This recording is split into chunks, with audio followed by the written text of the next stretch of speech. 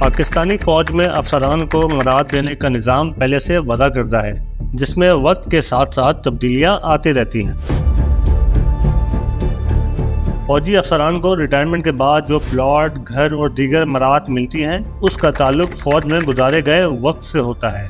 अस्करी हुकाम के मुताबिक फौजी अफसर को मुलाजमत के पहले दिन ही एक ऑप्शनल फॉर्म दिया जाता है, जो आर्मी हाउसिंग की रुकनीत तैयार करने का होता है। रुकनीत हासिल करने वाले को एक लाख डाउन पेमेंट देनी होती है और फिर उसकी कटौती उसकी तनख्वाह से होती रहती है। जबता कार के तहत, जब कोई फौजी अफसर पंद्रह साल सर्विस कर लेता है तो फिर वो एक प्लॉट का हकदार हो जाता है। इतने अरसे में ज़्यादातर अफसरान मेजर जनरल के रैंक तक पहुँच चुके होते हैं।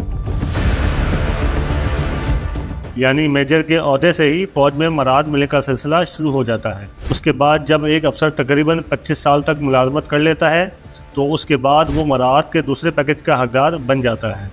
25 साल की मुलाजमत के बाद अफसरान कर्नल या ब्रिगेडियर के रैंक पर पहुँच चुके होते हैं। जब कोई ब्रिगेडियर वार कोर्स कर लेता है, उसके बाद वो दो कमर्शियल और एक रिहायशी प्लॉट का हकदार हो जाता है। मेजर जनरल बनने से एक इजाफी प्लॉट मिल जाता है, जबकि लेफ्टिनेंट जनरल चार प्लॉटों तक का हकदार हो जाता है। ये प्लॉट रिहायशी और कमर्शियल होते हैं। अलबत्त ये मुख्तलिफ़ शहरों में अलाट किए जाते हैं। एक फोर स्टार जनरल जो सर्विस चीफ भी बन सकता है, उसे रिटायरमेंट पर तीन सरकारी मुलाजमीन भी दिए जाते हैं। उनमें से एक घर का मुलाजिम, दूसरा टेलीफोन ऑपरेटर और तीसरा ड्राइवर होता है। एक जनरल रिटायरमेंट पर प्लाटो और जर ज़मीन की मद में एक अरब से जायद की मराहत हासिल कर चुका होता है।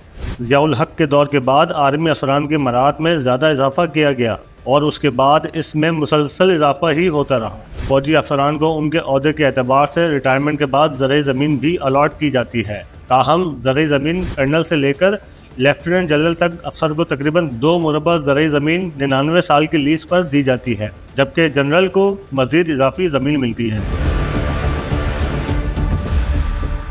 कुछ आर्मी अफसरान ने इस हवाले से फौज के अंदर मशहूर एक कहानी सुनाई। ये कहानी कुछ यूँ है। पाकिस्तान के पहले आर्मी चीफ जनरल ग्रेसी को अपने मातहत फौजी अफसर का खत मौसू हुआ, जिसमें आर्मी चीफ से प्लॉट लेने की दरख्वास्त की गई थी। आर्मी चीफ ने जवाब में इस अफसर को लिखा कि किस कानून के तहत आपको ये प्लॉट मिलना चाहिए? उस वक्त तो ये बात रफा दफ़ा हो गई, मगर कुछ अरसे बाद प्लॉट के ख्वाहिशमंद अफसर न सिर्फ़ आर्मी चीफ के अहदे तक पहुँच गए, बल्कि उन्होंने मुल्क में मार्शल लॉ लगाया और ख़ुद फ़ील्ड मार्शल भी बन गए। उनके मुताबिक ये थे सदर पाकिस्तान जनरल अयूब खान, जिन्होंने न सिर्फ़ अपनी अधूरी ख्वाहिश पूरी की, बल्कि पाकिस्तान आर्मी में प्लॉट कल्चर को फ़रोग दिया। आर्मी के मुताद रिटायर्ड अफसरान इस वाक़े की ना सिर्फ़ तस्दीक करते हैं, बल्कि उनका कहना है कि आर्मी में प्लॉट और ज़मीन तकसीम करने की पॉलिसी में सजादात भी हैं। रिटायर्ड ब्रिगेडियर वासिफ अली के मुताबिक, शुरू में तो अफसरान की तादाद कम थी तो सबको मराहत मिल जाती थी। मगर अब ऐसा नहीं है। ज़रिए ज़मीन की अलाटमेंट हक नहीं, बल्कि दस्तियाबी से मशरूत होती है।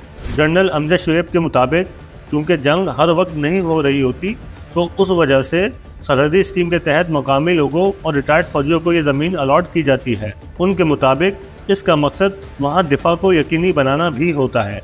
आर्मी अफसरान के मुताबिक, परवेज मुशरफ ने इन मराद को फौजी अफसरान की खुशकस्मती करार दिया था।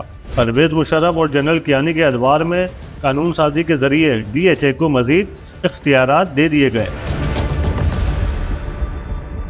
अस्करी हुकाम के मुताबिक कर्नल और उससे ऊपर के रैंक के अफसरान को आर्मी में हर साल असासे ज़ाहिर करने होते हैं। फौज में एक कमेटी उन असासों का मुवजना हर साल गुजशत बरस ज़ाहिर किए गए असासों से करती है। जनरल अमजद शेख के मुताबिक अगर असासों में फ़र्क आए तो मनी ट्रेल मांगा जाता है। ब्रिगेडियर वासिफ के मुताबिक पाकिस्तान की फ़ौज के मुताद फलाही इदारे काम करते हैं।